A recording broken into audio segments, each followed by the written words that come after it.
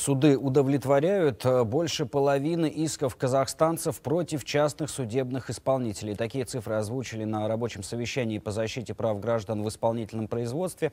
По словам председателя судебной коллегии по адм делам э, Аслана Тукиева, это свидетельствует о нарушениях, которые допускают в своей работе частные судебные исполнители.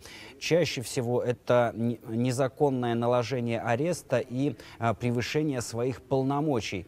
На данный момент в производстве производстве исполнителей а, находится почти 7 миллионов дел. В общей массе практически 60% а, дел, которые в судах оказываются, так или иначе завершаются в пользу граждан. Или официально судебным решением, или медиативным соглашением, там, иными формами примирения, в том числе неофициальными.